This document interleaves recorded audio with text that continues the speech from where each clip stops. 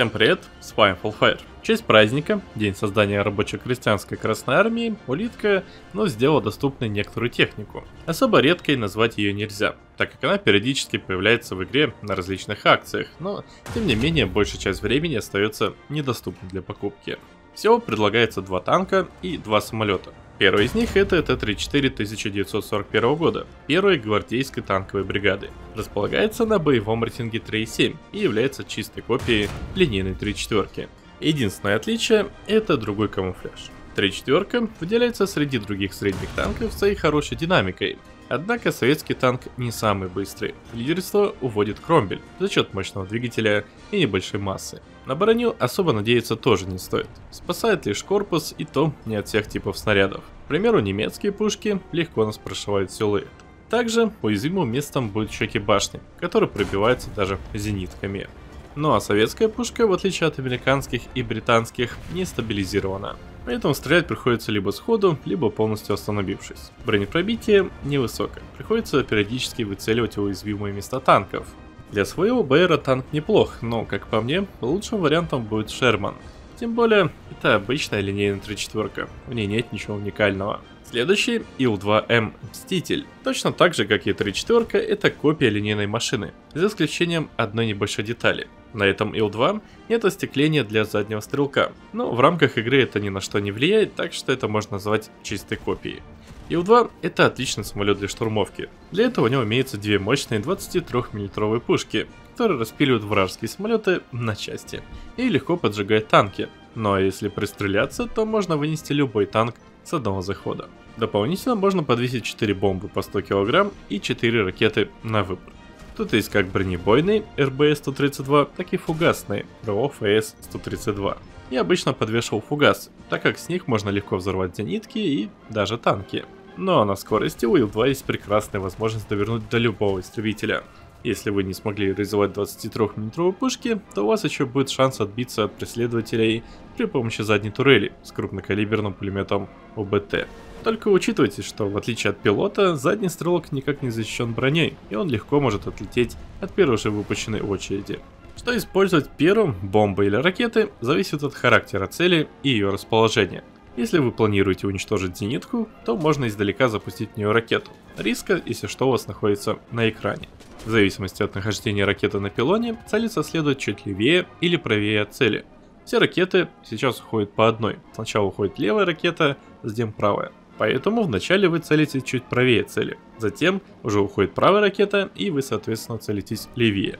Для ориентира можно использовать вертикальную риску. Наводите ее центром на правый борт танка и производите пуск. Крайняя риска рассчитана, например, на стрельбу с 350 метров.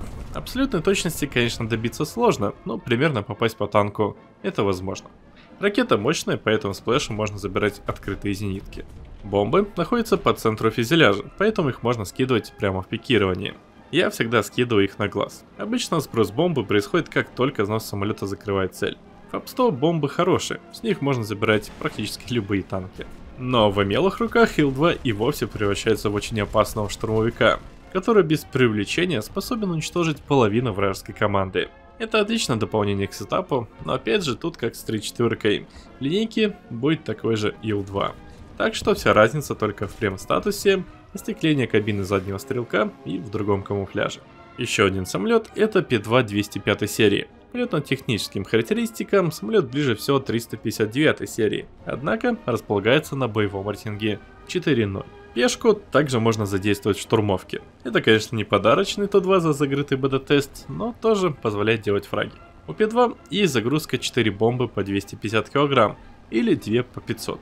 Так как у самолета имеется бомбовый прицел, то мой выбор это большее количество бомб, хоть и калибром меньше. Пешка плохо выходит из пикирования. Рекомендую не добирать скорость, иначе у нас затяжеляются рули высоты. Мы спокойно можем зацепить на выходе дерево или дом. Для того, чтобы не оказаться в ангаре, советую сбрасывать скорость. Для этого предусмотрен аэродинамический тормоз. У П-2 имеется 4 турели, две из которых будут с крупнокалиберными пулеметами УБТ, но также есть и курсовое вооружение в виде одного пулемета винтовочного калибра ШКАС и одного крупнокалиберного УБ. Маневренность у пешки непримечательная, но в некоторых случаях получается одолеть вражеский истребитель, если не курсовым, то хотя бы оборонительным вооружением. В отличие от Ту-2, пешка очень уязвима к огню противника. Мы редко когда переживаем заходы. Часто происходят пожары топливных баков. Но при малом количестве зениток и истребителей в бою, P2 может произвести сброс бомб и подарить вам 4 фрага. В некоторых случаях даже больше, если вы найдете скопление танков.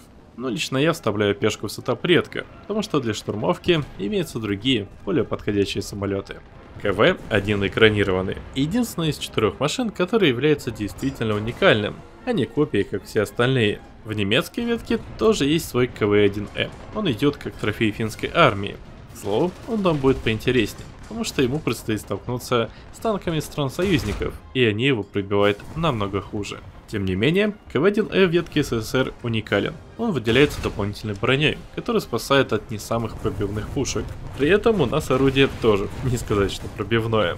Да, в отличие от КВ СЛ-11, у экранки появился новый снаряд. Это ПР-350Б, который пробивает на 10 мм больше, чем предыдущий снаряд. Но в целом, эта ситуация не сильно спасает.